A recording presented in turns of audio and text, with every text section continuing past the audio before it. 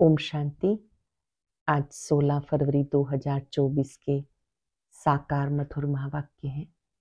आज अव्यक्त मिलन दिवस है। हम सभी अपने अपने स्थानों पर अव्यक्त मुलाकात करेंगे। पूर्व तैयारी करेंगे। साइलेंस में रहकर बाबा का आह्वान करेंगे। मीठे बाबा, प्यारे बाबा, हम सबसे मिलने के लिए आ जाओ। जितना अंतर्मुखी रहेंगे, उतना बाबा की याद रहेगी और अव्यक्त मिलन से आत्मा शक्तिशाली बनती है। आज शुक्रिया दिवस भी है। बहुत सुंदर बात बाबा ने सिखाई। किसी भी परिस्थिति में बाबा के पास आपके मन और बुद्धि रहे, शक्ति मिलती रहेगी और आप साक्षी होकर खेल देखते रहेंगे। परिस्थितियाँ तो आनी ही हैं। संबंधों में भी टकराव ऊपर नीचे, धन का ऊपर नीचे होना, ये सब होना ही है। इन सब में भी बाबा से शक्ति लेकर आगे बढ़ते रहो। साक्षी होकर खेल देखो। ऊंच पद पाना है तो उसका आधार पढ़ाई है।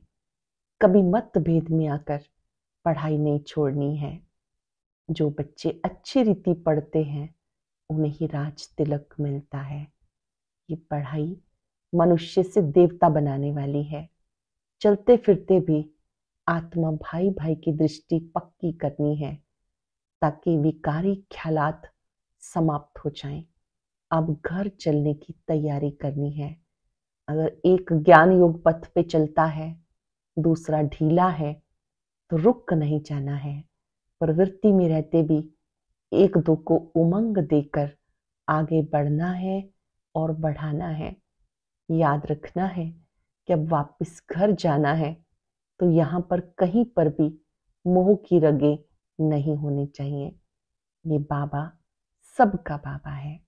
बाप भी है, टीचर भी है, सतगुरु भी है, महामंत्र देते हैं, मन मना भव, मध्याजी भव।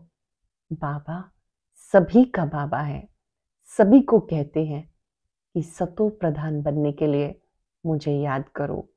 बाबा ने पूछा, बाबा ही आपको सत्युगी दुनिया के लायक बनाते हैं। तो अब आप जो दीपावली पर लाइटिंग करते हो तो वो दीपावली पर होनी चाहिए या शिव जयंती पर होनी चाहिए? शिव जयंती आपका बहुत बड़ा त्योहार है। बाबा सबके भंडारे भरपूर करने वाला है। जब दीपावली होती है तो लक्ष्मी का आह्वान करते हैं, लेकिन लक्ष्मी को भी प्राप्ति कहाँ से हुई? शिव बाबा से हुई तो उन्हें ही याद करना है और ये शिव जयंती बहुत धूमधाम से मनानी है। सुनते हैं बाबा के मधुर बोल। बाबा ने कहा, मीठे बच्चे, अब अशरीरी होकर घर जाना है। इसलिए जब किसी से बात करते हो तो आत्मा भाई भाई समझ के बात करो, देही अभिमानी रहने की मेहनत करो। अब अशरीरी होकर घर जाना है। जब किसी से बात करते हो, आत्मा भाई भाई समझ के बात करो, देही अभिमानी रहने की मेहनत करो। क्वेश्चन है, भविष्य राज तिलक प्राप्त करने का आधार क्या है? भविष्य राज तिलक प्राप्त करने का आधार क्या है? पढ़ाई हर एक को पढ़ाकर, पढ़कर राज तिलक लेना है। बाप की है, पढ़ाने की ड्यूटी। इसमें आशीर्वाद की बात नहीं। पूरा निश्चय है तो श्रीमत पे चलो। गफलत नहीं करनी है। अगर मतभेद में आकर पढ़ाई छोड़ी तो नापास हो जाएँगे। इसलिए बाबा कहते मीठे बच्चे, अपने ऊपर रहम करो। आशीर्वाद मांगनी नहीं, पढ़ाई पर ध्यान देना है। भविष्य राज तिलक प्राप्त करने का आधार पढ़ाई है। हर एक को पढ़कर राज तिलक लेना है। बाप की है पढ़ाने की ड्यूटी। इसमें आशीर्वाद की बात नहीं। पूरा निश्चय है तो श्रीमत पे चलते चलो। गफलत नहीं करनी है। अगर मतभेद में आकर पढ़ाई छोड़ी तो नापास हो जाएँगे। इससे बाबा कहते मीठे बच्चे, अपने ऊपर रहम करो। आशीर्वाद मांगनी नहीं पढ़ाई पर ध्यान देना है। ओम शांति। सुप्रीम टीचर बच्चों को पढ़ाते हैं। बच्चे जानते, परम पिता पिता भी है, टीचर भी है। ऐसा तुमको पढ़ाते हैं जो और कोई पढ़ा ना सके।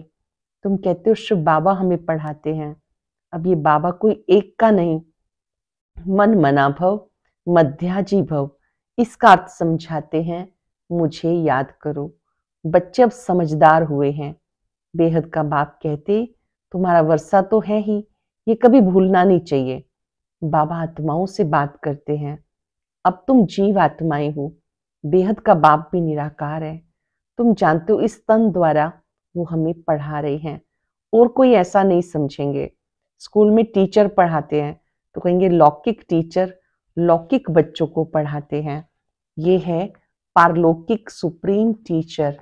जो पारलौकिक बच्चों को पढ़ाते हैं, तुम भी परलोक के निवासी हो मूल वतन के निवासी हो। परम धाम को ही परलोक कहते हैं, बाप भी परलोक में रहते हैं। बाप कहते हैं, हम भी शांति धाम के निवासी हैं, तुम भी वहाँ के निवासी हो। हम दोनों एक धाम के रहवासी हैं। तुम अपने को आत्मा समझो, मैं परम आत्मा हूँ। अब तुम यह पार्ट बजा रहे हो। पार्ट बजाते बजाते तुम पतित बन गए हो। ये सारा बेहद का मांडवा है जिसमें खेल होता है। ये सारी सृष्टि कर्म क्षेत्र है जिसमें खेल चल रहा है। ये सिर्फ़ तुम जानते हो, ये बेहद का खेल है जिसमें दिन और रात होते हैं। सूर्य चाँद कितनी बेहद की रोशनी देते, ये है बेहद की बात। अब तुम्हें ज्ञान भी है। रचता आकर, रचता और रचना के आदि मध्यंत का परिचय देते हैं। बाबा कहते, तुम्हें रचना के आदि मध्यंत का राज सुनाने आया हूँ। ये पाठशाला है। पढ़ाने वाला अभोगता है। ऐसे कोई नहीं कहेंगे कि हम अभोगता हैं। अहमदाबाद में एक साधु ऐसे कहता था, परंतु बाद में ठगी पकड़ी गई। इस समय ठगी भी बहुत निकल पड़ी है। वेशधारी बहुत हैं। इनको तो कोई वेश है नहीं। मनुष्य समझते श्री कृष्ण ने गीता सुनाई। तो आजकल कितना उलझ गए हैं। अब इतने सारे श्री कृष्ण तो होते नहीं। यहाँ तो तुमको शिव बाबा पढ़ाते हैं, आत्माओं को सुनाते हैं। तुम्हें बार बार कहा गया, अपने को आत्मा समझ भाई भाई को सुनाओ। बुद्धि मेरे, बाबा की नॉलेज भाइयों को सुनाते हैं। मेल अथवा फीमेल दोनों भाई भाई हैं। इससे बाबा कहते, तुम सब मेरे वर्षे के हकदार हो। वैसे फीमेल को वर्षा नहीं मिलता क्योंकि उनको ससुर घर जाना है। यहाँ तो है सब आत्माएँ। अशरीरी होकर जाना है घर। अशरीरी होकर मूल वतन जाना है। अब जो तुम्हें ज्ञान रतन मिलते हैं, या विनाशी ज्ञान रतन बन जाते, आत्मा ही ज्ञान का सागर बनती, आत्मा ही सब कुछ करती है। परंतु मनुष्यों को देविमान होने के कारण देही अभिमानी बनते नहीं है। देह अभिमान होने के कारण देही अभिमानी बनते नहीं। अब तुम्हें देही अभिमानी बन, एक बाप को याद करना है। कुछ तो मेहनत चाहिए ना? लौकिक गुरु को कितना याद करते हैं, मूर्ति रख देते। अब कहाँ शिव का चित्र, कहाँ मनुष्य का चित्र? रात दिन का फ़र्क है। वे गुरु का फ़ोटो पहन लेते। पति लोगों को अच्छा नहीं लगता कि दूसरे का फ़ोटो पहने। हाँ शिव का पहनेंगे तो सबको अच्छा लगेगा, क्योंकि वो तो परम पिता है। उनका चित्र होना चाहिए। यह गले का हार बनाने वाला। तुम रुद्रमाला का मोती बनेंगे। वो तो सारी दुनिया रुद्रमाला भी है। प्रजापिता ब्रह्मा की माला भी है। ऊपर में सिजरा है। यह है हद का सिजरा। यह है बेहद का। जो भी मनुष्य मात्र है, सबकी माला है। आत्मा कितनी छोटे से छोटी बिंदी है। बिल्कुल छोटी बिंदी। ऐसे ऐसे बिंदी देते जाओ तो अनगिनत हो जाएगी। गिनती करते करते थक जाएँगे। परंतु देखो आत्मा का झाड़ कितना छोटा है। ब्रह्म तत्व में वो थोड़ी जगह में आत्माएँ रहती हैं। वो फिर यहाँ आती हैं पार्ट बजाने के लिए। मूल वतन का चित्र है ना? तो उसमें सब छोटे छोटे स्टार दिखाए हैं। थोड़ी सी जगह में सारे विश्व की आत्माएँ हैं। यहाँ फिर कितनी लंबी चौड़ी दुनिया है। कहाँ कहाँ एरोप्लेन में जाते, वहाँ फिर एरोप्लेन आदि की दरकार नहीं। आत्माओं का छोटा सा झाड़ है। या मनुष्यों का कितना बड़ा झाड़ है, ये सब है प्रजापिता ब्रह्मा की संतान, जिसको कोई एडम, कोई आदि देव कहते हैं। मेल फीमेल तो ज़रूर है, तुम्हारा है प्रवृत्ति मार्ग। निर्वृत्ति मार्ग का खेल होता नहीं, एक हाथ से क्या होगा? दोनों पहिए चाहिए। दो है तो आपस में रेस करते हैं। दूसरा पहिया साथ नहीं देता तो ढीले पड़ जाते हैं। परंतु एक के कारण ठहर नहीं जाना चाहिए। पहले पहले पवित्र प्रवृत्ति मार्ग था। फिर होता है अपवित्र। गिरते ही जाते हैं। तुम्हारी बुद्धि में सारा ज्ञान है। ये झाड़ कैसे बढ़ता है? कैसे एडिशन होती है? ऐसा झाड़ कोई निकाल ना सके। कोई की बुद्धि में रचता और रचना के आदि मध्यंत की नॉलेज नहीं है। इसलिए बाबा ने कहा, ये लिखो। हमने रचता रचता के द्वारा, रचता और रचना की नॉलेज का अंत पाया है। वो तो न रचता को जानते हैं, न रचना को जानते हैं। अगर परंपरा ये चला आता ज्ञान तो कोई बताए ना, सिवाय तुम ब्रह्मा कुमार कुमारियों के, कोई बता ना सके। तुम जानते हो ब्राह्मणों को ही परम पिता परमात्मा पढ़ाते हैं। हम ब्राह्मणों का ही ऊँचे से ऊँचा धर्म है। चित्र भी दिखाना पड़ता। चित्र बिगड़ कभी बुद्धि में नहीं बैठेगा। चित्र बहुत बड़े बड़े होने चाहिए। वैरायटी धर्मों का झाड़ कैसे बढ़ता है, ये भी समझाया। आगे तो कहते थे, हम आत्मा सो परमात्मा परमात्मा सो हम आत्मा। अब बाबा ने इसका अर्थ बताया, इस समय हम ब्राह्मण हैं, फिर हम सो देवता बनेंगे नई दुनिया में। अभी हम पुरुषोत्तम संगम युग पर हैं, अर्थात ये पुरुषोत्तम बनने का संगम युग है। ये सब तुम समझा सकते हो। रचता और रचना का अर्थ, हम सो का अर्थ, ओम अर्थात में आत्मा फ़र्स्ट, फिर ये शरीर है। आत्मा विनाशी, शरीर विनाशी है। हम ये शरीर धारण कर पार्ट बजाते हैं। इसको कहा जाता आत्माभिमानी। हम आत्मा फलाना पार्ट बजाती हैं। हम आत्मा ये करती हैं। हम आत्मा परम पिता के बच्चे हैं। कितना वंडरफुल ज्ञान है। ये ज्ञान बाप में ही है। इससे बाबा को बुलाते हैं। बाबा है ज्ञान सागर। उनकी भेंट में फिर है अज्ञान के सागर। आधा कल्प है ज्ञान, आधा कल्प है अज्ञान। ज्ञान का किसी को पता नहीं। ज्ञान कहा जाता। रचता द्वारा रचना को जानना। तो ज़रूर रचता में ही ज्ञान है ना? इसलिए उनको क्रिएटर कहते हैं। मनुष्य समझते क्रिएटर ने रचना रची है। बाप समझाते, ये अनादि बना बनाया खेल है। कहते, पतित पावन आओ तो रचता कैसे कहेंगे? रचता तब कहें जब प्रलय हो, फिर रचे। बाप तो पतित दुनिया को पावन बनाने आते हैं। तो ये सारे विश्व का जो झाड़ है उसके आदि मध्यंत को मीठे मीठे बच्चे जानते हैं। जैसे माली, हर एक बीज और झाड़ को जानते हैं। बीज को देखने से सारा झाड़ बुद्धि में आ जाता है। यह ह्यूमैनिटी का, मनुष्य सृष्टि का बीज, उन्हें कोई नहीं जानते। गाते हैं परम पिता परमात्मा सृष्टि का बीज रूप है। सत्यचित आनंद स्वरूप है। सुख, शांति, पवित्रता का सागर है। तुम जानते हो, सारा ज्ञान परम पिता परमात्मा इस शरीर द्वारा दे रहे हैं। तो ज़रूर यहाँ आएँगे ना। पतितों को पावन प्रेरणा से कैसे बनाएँगे? तो बाबा यहाँ आकर पावन बनाकर ले जाते हैं। वह बाप तुम्हें पढ़ा रहे हैं। यह पुरुषोत्तम संगम युग। इस पर तुम भाषण कर सकते हो। कैसे पुरुष तमो प्रधान से श्रेष्ठ सतो प्रधान बनते हैं। तुम्हारे पास टॉपिक बहुत है। ये पतित तमो प्रधान दुनिया सतो प्रधान कैसे बनती है, ये भी समझने लायक है। आगे चलकर ये ज्ञान सुनेंगे, बोले छोड़ भी देंगे, फिर आएँगे। अगर कोई छोड़ के चले गए, फिर आ जाएँगे, क्योंकि गति सदगति की हट्टी ये एक ही है। तुम कह सकते हो, सबका सदगति दाता एक बाप है, उनको श्री श्री कहते हैं। श्रेष्ठ श्रेष्ठ परम पिता तो वो हमें श्रेष्ठ बनाते हैं। परम पिता श्रेष्ठ श्रेष्ठ है, हमें भी श्रेष्ठ बनाते। श्रेष्ठ है सतयुग, भ्रष्ट है कलयुग। कहते भी हैं, भ्रष्टाचारी हैं, परंतु अपने को समझते नहीं। पति दुनिया में एक भी श्रेष्ठ नहीं। श्री श्री जब आए, तब आकर श्री बनाए। श्री का टाइटल सत्युग आदि में देवताओं का था। यहाँ सबको श्री श्री कह देते हैं। वास्तव में श्री अक्षर है पवित्रता का।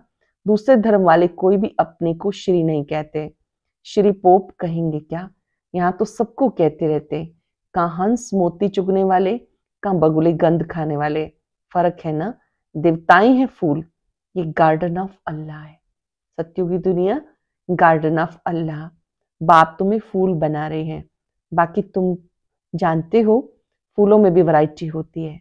सबसे अच्छा फूल होता है king flower in Lakshmi Narayan को नई दुनिया का किंग क्वीन फ्लार कहेंगे। सत्युगी दुनिया के ये महाराजा महारानी सबसे बड़े पुष्प हैं। तुम बच्चों को आंतरिक खुशी होनी चाहिए, इसमें बाहर का कुछ नहीं करना। ये बत्तियाँ आदि जलाने का भी अर्थ चाहिए। शिव जयंती पर जलानी चाहिए या दीपावली पर? दीपावली पर लक्ष्मी का आह्वान करते हैं, उससे पैसे मांगते हैं। जबकि भंडारा भरने वाला शिव भोला भंडारी है। जानते हो शिव बाबा द्वारा हमारा अखुट खजाना भर जाता है। ये ज्ञान रतन धन है। वहाँ तुम्हारे पास अथा धन रहता। नई दुनिया में तुम माला माल हो जाएँगे। सत्युग में ढेरों के ढेर, हीरे जवाहरात हैं।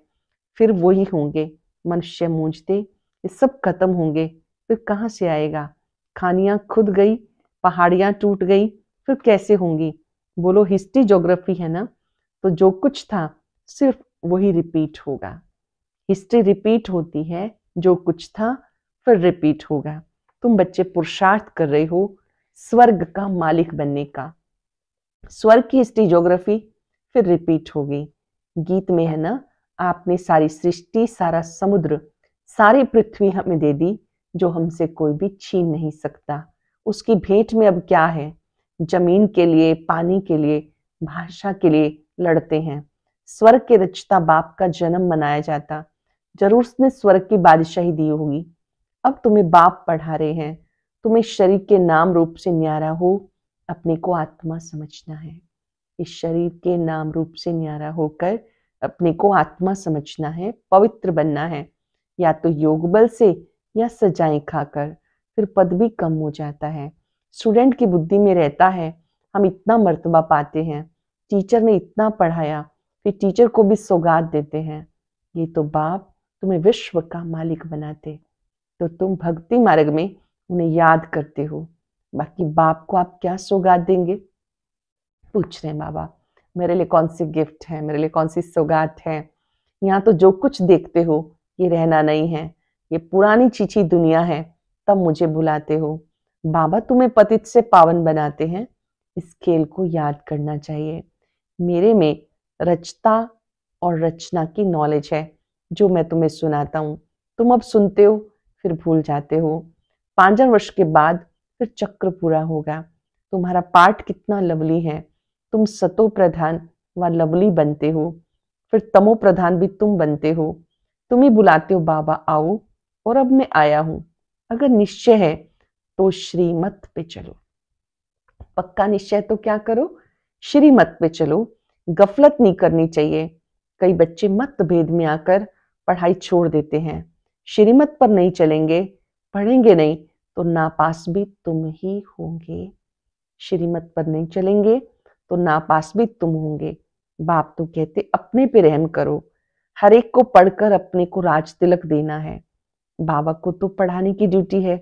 इसमें आशीर्वाद की बात नहीं। फिर तो सब पर आशीर्वाद करनी पड़े। ये कृपा आदि भक्ति मार्ग में मांगते रहते हैं। यह वो बात नहीं है। कृपा की, आशीर्वाद की बात नहीं है। हर रोज पढ़ना ही अपने ऊपर कृपा है, आशीर्वाद है। अच्छा मीठे मीठे सिक्के लदे बच्चों प्रति। मात पिता बाप दादा का याद प्यार गुड मॉर्निंग रूहानी बाप की, रूहानी बच्चों को नमस्ते। रूहानी बच्चों की, रूहानी बाप दादा को याद प्यार, नमस्ते। गुड मॉर्निंग शुक्रिया बाबा, शुक्रिया। धारणा के लिए सार, प्रवृत्ति में रहते, आपस में रेस करनी है। परंतु अगर किसी कारण से एक पहिया ढीला पड़ जाता है तो उसके पीछे ठहर नहीं जाना। स्वयं को राज तिलक देने के लायक बनाना है। शिव जयंती बड़े धूमधाम से मनानी है, क्योंकि शिव बाबा जो ज्ञान रतन देते हैं, उससे तुम नई दुनिया में माला माल बनेंगे। तुम्हारे सब भंडारे भरपूर हो जाएँगे। प्रवृत्ति में रहते, आपस में रेस करनी है। अगर किसी कारण से एक पहिया ढीला पड़ जाता है तो उसके पीछे ठहर नहीं जाना। स्वयं को राज तिलक देने के लायक बनाना है। शिव जयंती बड़े धूमधाम से मनानी है, क्योंकि शिव बाबा जो ज्ञान रतन देते हैं, उससे तुम नई दुनिया में माला माल बन जाएँगे। तुम्हारे सब भंडारे भरपूर हो जाएँगे। वरदान है, बाप से शक्ति लेकर हर परिस्थिति को हल करने वाले साक्षी दृष्टा भव। बाप से शक्ति लेकर हर परिस्थिति को हल करने वाले साक्षी दृष्टा भव। आप बच्चे जानते हो, अति के बाद अंत होना है तो हर प्रकार की हलचल अति में होगी, परिवार में भी खिटखिट होगी, मन में भी अनेक उलझन आएँगी, धन भी नीचे ऊपर होगा, लेकिन जो बाप के साथी हैं, सच्चे हैं, उनका जवाबदार बाप है, जो बाप के साथी हैं, सच्चे हैं, उनका जवाबदार बाप है।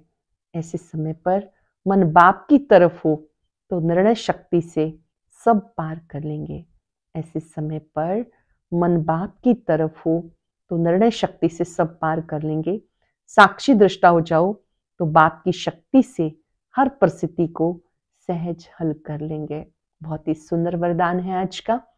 अच्छे से बड़े बड़े अक्षरों में डायरी पेन लेकर लिखेंगे, रिवाइज करेंगे कि परिस्थिति कोई भी आए इधर उधर कहीं नहीं भटकना। बाबा से मिलना है, बाबा से बात करनी है। अगर आपका बुद्धि योग बाबा पर टिक जाता है तो आपको उस परिस्थिति का हल मिल जाता है। ऐसे निश्चय बुद्धि बनकर बाबा के सामने बैठेंगे, साक्षी होकर खेल देखेंगे तो समाधान मिल जाएगा। आप बच्चे जानते हो, अति के बाद अंत होना है। हर प्रकार की हलचल अति में होगी, परिवार में भी खिटखिट होगी, मन में भी अनेक उलझन आएँगी, धन भी नीचे ऊपर होगा। लेकिन जो बाप के साथी हैं, सच्चे हैं, उनका जवाबदार बाप है। ऐसे समय पर मन बाप की तरफ़ हो तो निर्णय शक्ति से सब पार कर लेंगे। साक्षी दृष्टा हो जाओ तो बाप की शक्ति से हर परिस्थिति को सहज हल कर लेंगे। स्लोगन है, सब किनारे छोड़ घर चलने की तैयारी करो। सब किनारे छोड़, घर चलने की तैयारी करो। आज हम चलते फिरते याद रखेंगे। मैं साक्षी, दृष्टा हूँ। बाबा मेरा साथी है। मैं भाग्यवान आत्मा हूँ, जो मुझे भगवान का साथ मिला है। संगम युग पर सभी कार्य परमात्म शक्तियों से हो रहे हैं। परमात्मा शक्तियाँ हमें शक्तिशाली बनाती हैं। हर परिस्थिति का हल देती हैं। निश्चय बुद्धि और सच्चे बच्चों का जिम्मेवार बाबा है। मुझे बेहद खुशी है। मेरा जिम्मेवार बाबा है।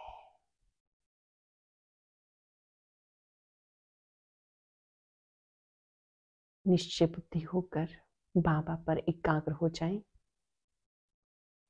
महसूस करें बाबा मुझसे प्यार करते हैं शक्ति देते हैं। मदद करते हैं।